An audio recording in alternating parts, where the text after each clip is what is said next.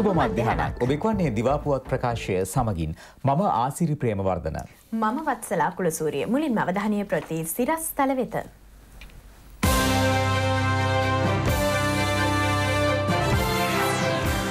කෝටි හය හමාරක එතනෝල් හා කෝටි දෙකක රන් බිස්කට් අත්තරංගුවට. පොළොන්නරුව වකුගඩු රෝහලේ ඉදිකිරීම් ඇරඹේ. ඉදිරියේදී ගුරුසේවයට විද්‍යාපීඨවලින් පමණයි. හමාස් ඉලක්ක පහළවකට ඊස්රායිලෙන් ප්‍රහාර. චීන රජයේ පූර්ණ පරිත්‍යාගයක් වන චීන ශ්‍රී ලංකා මිත්‍රත්ව ජාතික වුක්කවේද විශේෂිත රෝහලේ ඉදිකිරීම් පොළොන්නරුවේදී අද ආරම්භ වුණා. ඒ ජනාධිපති මෛත්‍රීපාල සිරිසෙන මැතුමාගේ ප්‍රධානත්වයෙන්. රුපියල් මිලියන දොළොස් දහසක් වැෑ කරමින් නිදි කෙරෙන චීන ශ්‍රී ලංකා මිත්‍රත්ව ජාතික වෘක්කවේද විශේෂිත රෝහල සඳහා චීන රජය පූර්ණ අනුග්‍රහය දක්වන්නේ ජනාධිපතිතුමාගේ ඉල්ලීමකට අනුවයි. වකුගඩු රෝගෙන් පීඩා විදින ජනතාව වෙනුවෙන් ජනාධිපති මෛත්‍රීපාල සිරිසෙන මැතිතුමා තුළ තිබූ දීර්ඝකාලීන අපේක්ෂාවක් ඉටු කරමින් නිදි කෙරෙන මෙම රෝහල දකුණු ආසියාවේ විශාලතම වකුගඩු රෝහලද වනවා. උතුරුමෙද පලාතේ පමණක් නොව රටපුරා විසිරී සිටින වකුගඩු රෝගීන් වෙනුවෙන් මෙම රෝහල ඉදිකෙරෙන්නේ ලොව නවීනතම පරීක්ෂණාගාර හා අධි තාක්ෂණික පහසුකම් වලින් සමන්විතවයි. රෝගී ඇදන් දෙසියකින් යුත් වාට්ටු සංකීරණයක් රුදිර කාන්තුකරණ යන්ත්‍ර සියකින් සමන්විත මෙම රෝහලේ බාහිර රෝගී ප්‍රතිකාර ඒකකයක්ද පිහිටුවීමට සැලසුම් කර තිබෙනවා. බාහිර රෝගී හා විශේෂිත වෘක්ක රෝගී සායන සංකීර්ණය හා වෘක්ක බද්ධ කිරීමේ සේවාව සඳහා අවශ්‍ය නවීන ශල්‍යාගාර හයක්ද මෙම රෝහලට ඇතුළත් ආසන දෙසියකින් යුත් නවීන ශ්‍රවනාගාරයක් හා වාහන තුන්සියක් ගාල් කළ හැකි රථගාලකින්ද මෙම රෝහල සමන්විතයි. රෝහල් කාර්යමණ්ඩලය සඳහා අවශ්‍ය නේවාසිකාගාර පහසුකම්ද මෙහි පිහිටුවා ඇත්තේ අංග සම්පූර්ණ රෝහලක අවශ්‍යතා සපුරාලමින් දෙදහස් විස්සේ ජූලි මාසයේදී මෙහි වැඩකටයුතු අවසන් කිරීමට නීමිතයි. මැති ඇමතිවරුන් පිරිසක්ද මෙම අවස්ථාවට සහභාගේ වුණා. අපේ රජයේ බලයට පැමිණෙනකොට මේ මුළු ලංකාවම රජයේ රෝහල්වලට තිවුණේ ඩයලිසිස් යන්ත්‍ර දෙසිය විසි අටයි. රෝගීන් විශාල අපහසුතාවකට පත් වුණා මොකද පුද්ගලිකාංශයට ගිහිල්ල විශාල මුදලක් වැය කරන්නට වෙනවා. පසුගිය මැතිවරණයේදී අපි පොරොන්දුන මේ කරුණ පිළිබඳව විශේෂ අවධානලක්. අද මේ වෙනකොට අපිට රුදර කාන්දු යන්ත්‍ර තිබෙනවා හයිසියකට පවනවා. ඉදිරි අවුරුද්ධ වෙනකොට රුදර කාන්දු යන්ත්‍ර දාහක් අපේ රජයේ රෝහල්වලට සපයනවා. ඊට අමතරව අපි ඉන්දයානු සමාගමක් එක්ක ගිවිසුම් ගත කරලා තිබෙනවා තවත් රුදිර කාන්දු යන්ත්‍ර නවසීයක් ලංකාවට ගේන. ඒක ඒ සියලුම යන්ත්‍ර ටික අපි ගෙනාවහම මං හිතන්නේ අපේ රටේ කිසිම දුප්පත් මිනිස්සෙකුට තමන්ගේ අතින් මුදල් වියදම් කරලා ඒ වැඩපිළිවෙල කරන්නට ඕනේ. ඒ විතරක් නෙවෙයි. තව ඉදිරියේදී අපි මේ ප්‍රදේශවලට ගේනවා අර පෙරිටෝනියල් ඩයලිසිස්. ඒ මැෂිම ගෙනල්ලා දුන්නාම ගෙදර ඉඳගෙනම Tamanට තමන්ගේ කටයුතු කරගත හැකියි. සුවසරිය ගිලන් රථ සේවාවේ උතුරු පළාත දෙවන අධීරය යපනයෙන් අද ආරම්භ වුණා. මේ පිළිබඳ තොරතුරු ගෙනෙන්නේ අප නියෝජිත ධනුෂ්ක බණ්ඩාර. අයිබෝවන් මා මේ මොහොතේ රැඳි සිටිනේ යාපනය නගර සභහා ක්‍රඩාංගනය තුළ. දහනවයයි අනුව දුරකතන අංකය ඔබට මට නුහුරු නුපුරුදු අංකයක් නෙවෙයි. අපේ රටේ සෞඛ්‍ය ශාස්ත්‍රය අපි මෙතෙක්කා ගමන් මඟ තුල ලබාගත්තු එක් ජයග්‍රහණයක් තමයි මේ සුවසැරිය ගිලන් රථ සේවාව කියලා කියන්නේ. අද දවසේදී උතුරු පළාතෙන් මේ ගිලන් රථ සේවයේ දෙවන අදියර ආරම්භ වෙනවා. අපි දන්නවා මේ වෙනකොට ක්‍රියාත්මක වෙන්නේ බස්නාහිර පළාත තුල සහ දකුණු පළාත තුල ගිලන් රථ 88කින් සමන්විතව බොහොම සුවිශාල කාර්යභාරයක් මේ ගිලන් රථ සේවය හරහා සිදු කරනවා. මාත් එක්ක මේ වෙලාවේ දින්නවා 1990 ගිලන් රථ සේවයේ මෙහෙයුම් කළමනාකරු ගායන් චතුරංග. අපිට කියන්න අද දවසේදී මේ උතුරු ප්‍රදේශයෙන් යාපනය මහනගර සභාවේ ක්‍රීඩාංගණය තුලින් මේ ආරම්භ වන වැඩ කටයුතු පිළිබඳව අපි දැනුවත් කරමු. දහනමෑනු සුවසෑරිය ගිලන සේවය ආරම්භයෙන් මීට වසර දෙකට කලින් හත්තරම දකුණු පලාසහ බස්නාහිර පලාත ආවරණය කරම අපි ගිලන් රත අසු වටක් යදවවා. එතකොට මේ පහුගේ අවුරුද්දේ කාල ඇතුවරදි. කරපු සේවාව ඉතාම ඉහලයි එක ඉතාම සාර්ථකත්වයකට අපි ළඟා වුණා ඒක ප්‍රතිඵලයක් විදිහට අපට පුළුවන් වුණා දෙවනි අදිර ආරම්භ කරන්න දෙවනි අදිරේදී මොකද්ද වෙන්නේ කියනවා නම් දෙවනි අදිර සිද්ධ වෙන්නේ මුළු ලංකාවම ආවරණය කරනවා මේ ගිලන් රට සේවාව රටේ සියලු ජනතාවටම ලබා දෙනවා එතකොට දෙවනි අදියර යටතේ අපට ගිලන් රට 209ක් ලැබෙනවා අන්න ඒ අවස්ථාවේ සමාරම කුස්සිය තමාදම ජාපනය මහනගර සභා ක්‍රීඩාංගණය පැවැත්වෙන්නේ. එතකොට අපි මුලින්ම ආරම්භ කරන්නේ උතුරු පළාතෙන්. උතුරු පළාතට ගිලනත 20ක් අපි ලබා දෙනවා. ඊට පස්සේ සෑම මාසක මේ කියන්නේ අගෝස්තු මාසයේ ඌව පළාත මේ වගේ දෙසැම්බර් මාසය වෙනකොට මුළු ලංකාවම මේ විදිහට ආවරණය සිදු වෙනවා. ඔව් මේ වැඩ කටයුතු තමයි අද දවසේදී මේ යාපනය නගර සභා ක්‍රීඩාංගණය තුල සිද්ධ වෙන්නේ. අපි ස්තුතිවන්ත වෙනවා ඔබතුමන්ට. අපි මතක් කරනවා මේ පසුපසින් තිබෙන ගිලන් රථ අද දවසේදී මේ ජනතාවත් අතපත් වේවි. ඒ තුලින් අපේ රටේ සෞඛ්‍ය ක්ෂේත්‍රයේ ඉදිරි ගමන පිළිබඳව බොහොම දැවැන්ත විශ්වාසයක් අප තුළ ඇති වේවි. යාපනය නගර සභා ක්‍රීඩාංගණයේ සිට සමුගන්නවා චවිල් ආනන්ද දුලික් සමගින් මම ධනුෂ්ක බණ්ඩාර. ඉදිරියේදී අධ්‍යාපන විද්‍යාපීඨවලින් පිටවන පිරිස පමණක් ගුරු සේවයට බඳවා ගන්නා බව අමාත්‍ය අකිල විරාජ්කාරිවසම් මහතා පවසනවා. දහසය වන ජාතික අධ්‍යාපන විද්‍යාපීඨ ක්‍රීඩා උළෙලේ සමාප්ති උත්සවයට එක්වමින් අමාත්‍යවරයා මේ බව කියා සිටියා. උත්සවය පැවැත්වුණේ අකුරැස්ස නිල්වලා විද්‍යාපීඨ ක්‍රීඩාංගණයේදී. විද්‍යාපීඨ දහනවයක් නියෝජනය කරමින් එක්දහස් පන්සියකට වැඩි පිරිසක් සහභාගි වුණා. නියෝජ්‍ය අමාත්‍ය බුද්ධික පතිරණ මහතාද මෙම අවස්ථාවට එක්ව සිටියා. මේ විද්‍යාපීඨ සංකල්පය වර්තමාන අග්‍රාමාත්‍ය රනිල් වික්‍රමසිංහ මැතිතුමාගේ වැඩපිළිවෙල. ඉතින් ඒ නිසා අද ගුරුවරුන් විශාල ප්‍රමාණයකට පුහුණුවක් සහිත ගුරුවරුන් වශයෙන් පාසල් පද්ධතියට යොමු කරන්න පුළුවන් වෙලා තියෙනවා. ඉතින් අපේ බලාපොරොත්තුව මේ තවත් ශක්තිමත් කරන එක. මම හැම විටම කියලා තියෙනවා උපාධිධාරීන් නැරුණාම උපාධිය හදාරන නැති අය අපි ඊළඟ ඉසට් ස්කෝ එකෙන් ළමයි බදවා ගැනීමේදී මේ විද්‍යාපීඨ ගන්න ප්‍රමාණය අපි වැඩි කරන්න ඕනේ කියලා. ඒ වැඩි කරලි ඉවරලා අපි බලාපොරොත්තු වෙන්නේ ප්‍රමාණය 4000 පුළුවන් නම් 8000 දක්වා වැඩි කරන්න. එතකොට අපිට පුළුවන්කම තියෙනවා පාසල් පද්ධතියට යන හැම ගුරුවරයෙක්ම පුහුණුවක් ලබපු ගුරුවරයෙක් බවට පත් කරන්න. ඒ නිසා අපේ පරමාර්ථය මේ විද්‍යාපීඨවල පීඨාධිපතිවරුන් නියෝජ්‍ය පීඨාධිපතිවරුන් කතිකාචාර්යවරුන් දේශීය සහ විදේශීය පුහුණුව ලබා දීලා අපි මේ පද්ධතිය ශක්තිමත් කරන්න. කොළඹ නගරයේ ආශ්‍රිත දෙස් විදෙස් සංචාරකින්ගේ විනෝදාස්වාදයේ උදෙසා සංවිධාන කෙරෙන විශේෂ සංස්කෘතික සංදර්ශන මාලාවේ සමාරම්භක වැඩසටහන ඊයේ පැවැත්වුණා. ඒ අග්‍රාමාත්‍ය රනිල් වික්‍රමසිංහ මහතාගේ ප්‍රධානත්වයෙන්.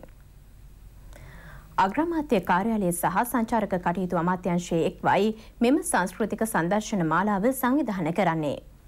කොළඹ ආකේඩ් පල්ශ්‍රයේ පැවති එහි සමාරම්භක වැඩසටහනට අග්‍රාමාත්‍ය රනිල් වික්‍රමසිංහ මහතා සහ අමාත්‍යවරුන් වන සාගල රත්නායක සහ ජෝන් අමරතුංග යන මහතුරුන් ඇතුළු පිරිසක් සහභාගී වුණා.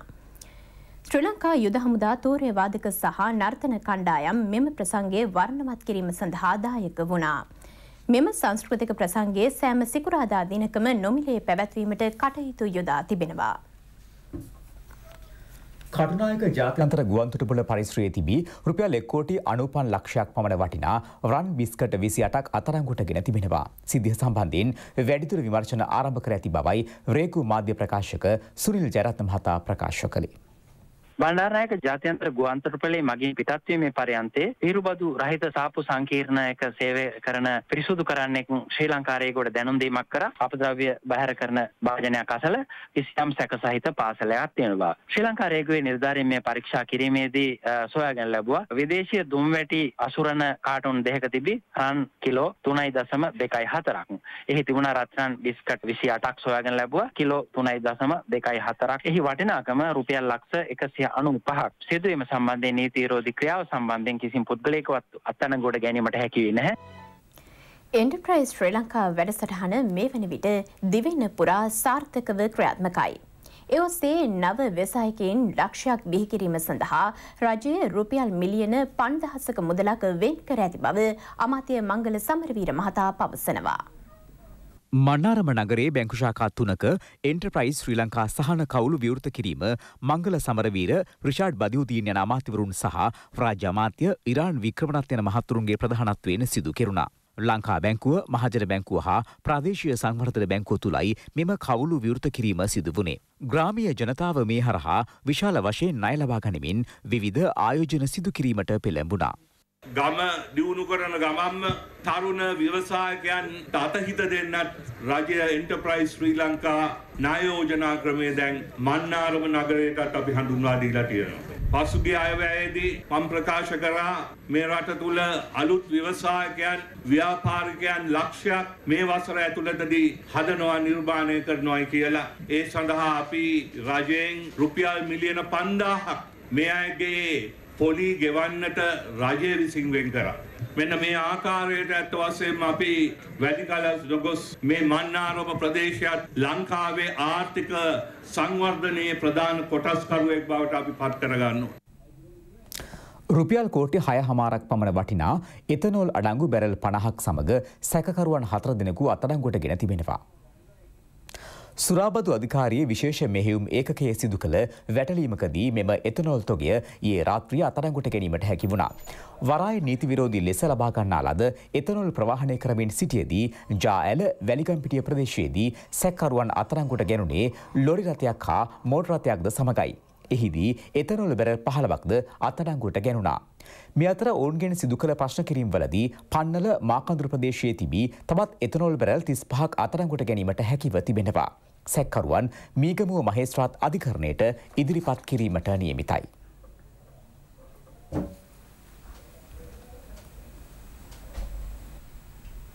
වැලිමඩ නියදකල කන්දේ ඇතිවී තිබෙන ගින්නෙන් මෙවන විට අක්කර විස්සකට වැඩි භූමි ප්‍රදේශයක් විනාශ වී තිබෙනවා. වැලිමට නගරේ ආසන්නයේ පිහිටි නියදකල කන්දේ ගින්න දින තුනක සිට පවතින බවයි ප්‍රදේශවාසීන් පවසන්නේ. පවතින වියලි කාලගුණයේ සහ සුනක හේතුවෙන් එය පැතිර යමින් පවතින බවද සඳහන්. මේ හේතුවෙන් කන්දේ පිහිටි වන වගාවටද දැඩි හානි සිදුව තිබෙනවා.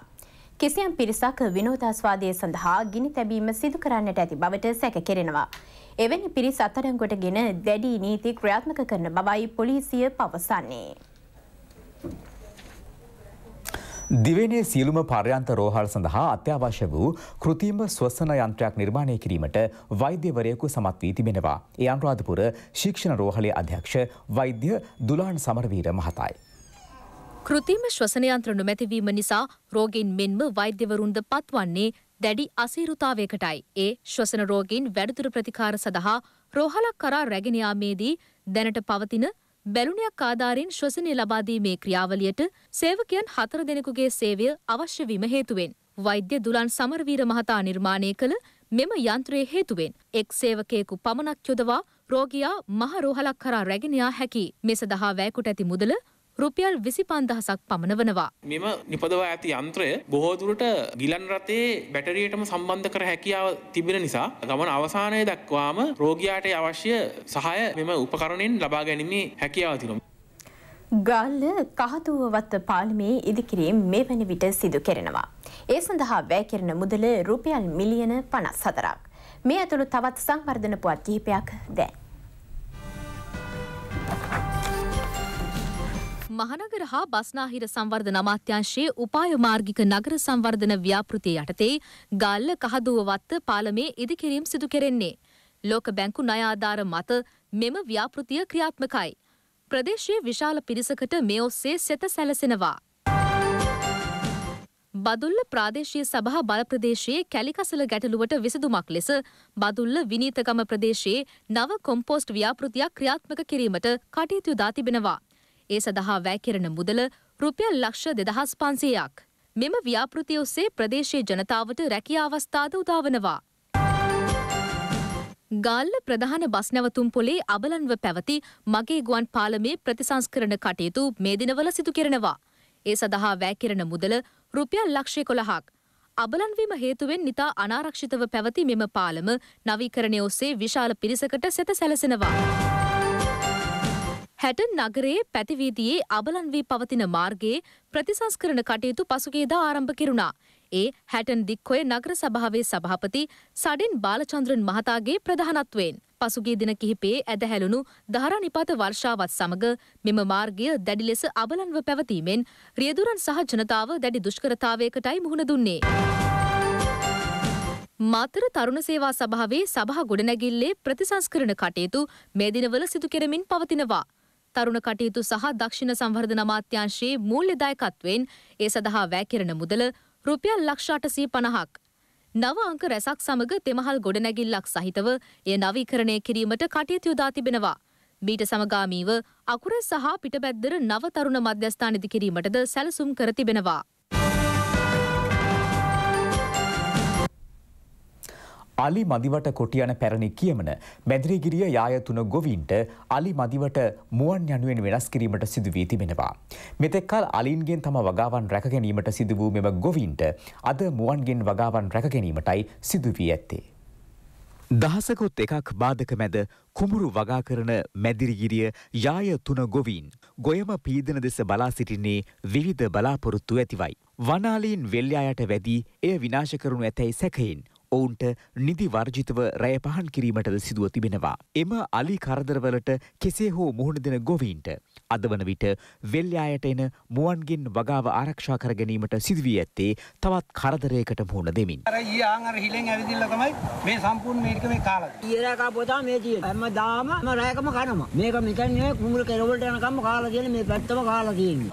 මොකන හානිය කියන්නේ නැහැ කවුරුවත්. කිසිම කෙනෙක් පිළිගන්නේ නැහැ මේක. මේ අඩි තියෙනවා හැමතැනම. මෝ දහක් කමාරකට වැඩි ප්‍රමාණයක් මේ කැලේ ඉන්නවා.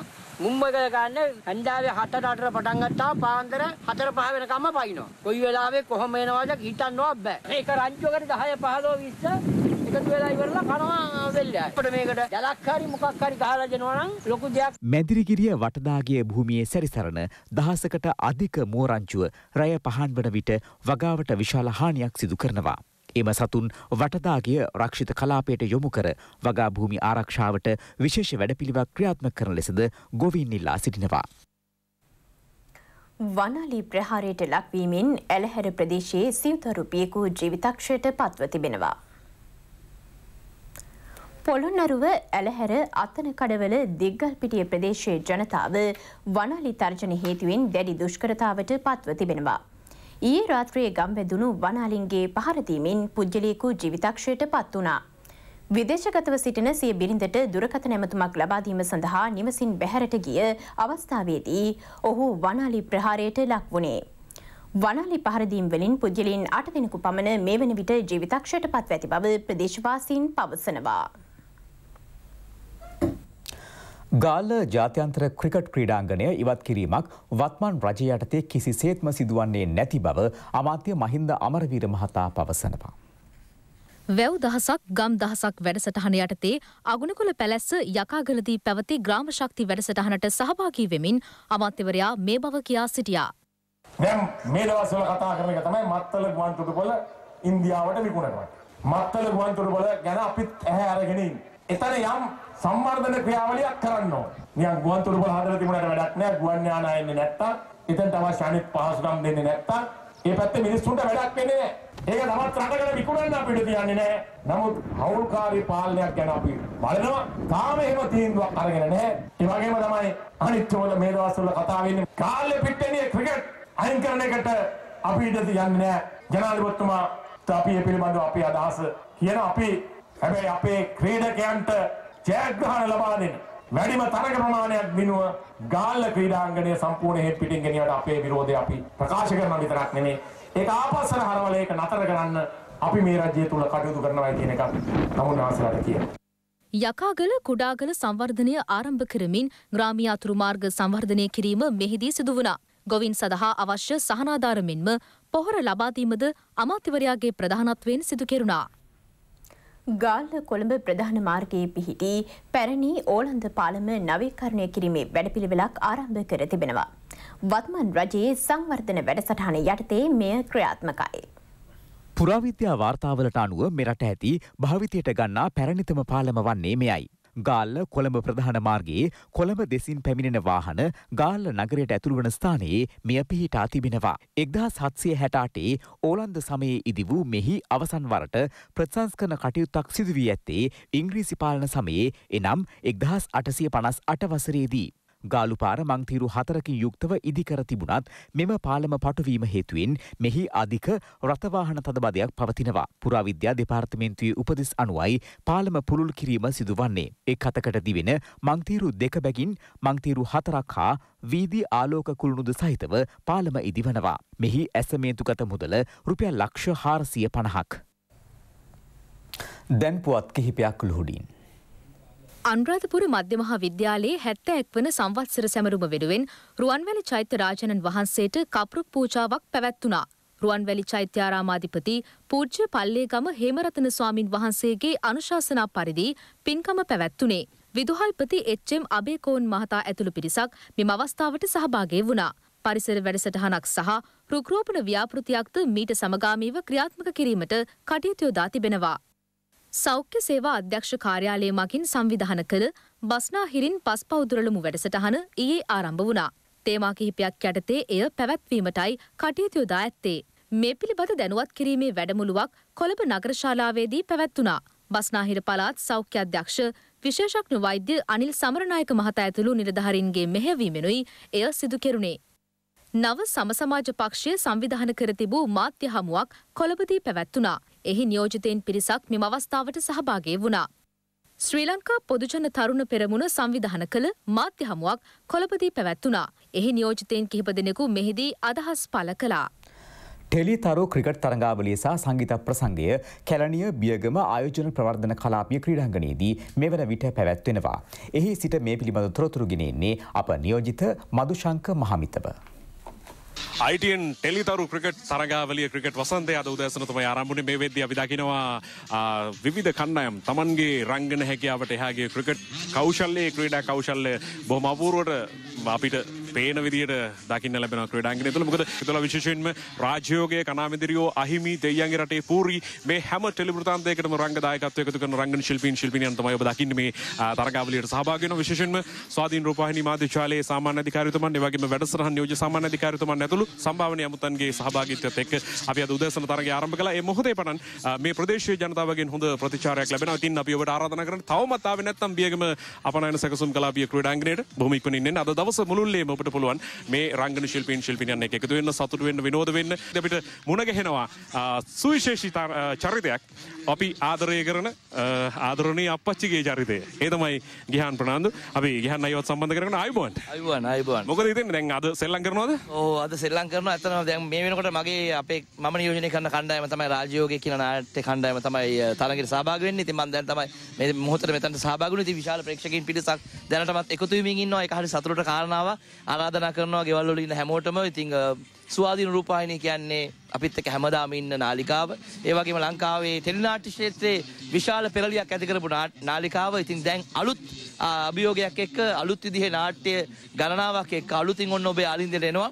මම හිතන්නේ මේ හැම නාට්‍යයක්ම ඔයගොල්ලන් දැනටවත් බලනවා ඇති. හැබැයි බලද්දී ඔයගොල්ලන්ට දැනෙනවා ඇති සාමාන්‍ය මෙතෙක් කල් තිබිච්ච නාට්‍ය වලට වඩා තරමක් වෙනස් විදිහේ ආකර්ෂණීය නාට්‍ය. කියන්නේ ප්‍රේක්ෂකයන්ට කැමති දි නාට්‍ය තමයි මේ වර තෝරාගෙන ගමන් අපිට මේ දැවන්ත කාර්යය පසුපස ශක්තියක් එකතු කරන රත්ති පවුලෙන් හඳුන්වා දෙන්න නවතම නිෂ්පාදනයේ රෙඩ් කව් රස පදම තේයකට පහසු මිලක් නව රසයක් එකතු කරනවා රුපියල් 280කට ග්‍රෑම් 400ක් මිලදී ගැනීමේ අවස්ථාව තියෙනවා. ඒ වගේම තමයි නව fair and lovely BB cream makeup එක ෆිනිෂ් කරගන්න ඕන නම් හොඳම ක්‍රීම් එක විදිහට තමයි ෆෙයානස් එක විදිහට තමයි අපි ෆෙයාරන් ලව්ලි BB ක්‍රීම් එක හඳුන්වා දෙන්නේ. අපිත් එක්ක අත්වල බැඳ ගන්නවා. ඒ වගේම නවීන QSC තාක්ෂණයෙන් එන මෙල්වා SLS සහ ISO 9001 සහිතව නියම ජාත්‍යන්තර ප්‍රමිතිය වැඩි නම්‍යශීලී බව නිසා භූමිකම්ප වලට තොරතුරු දෙනවා.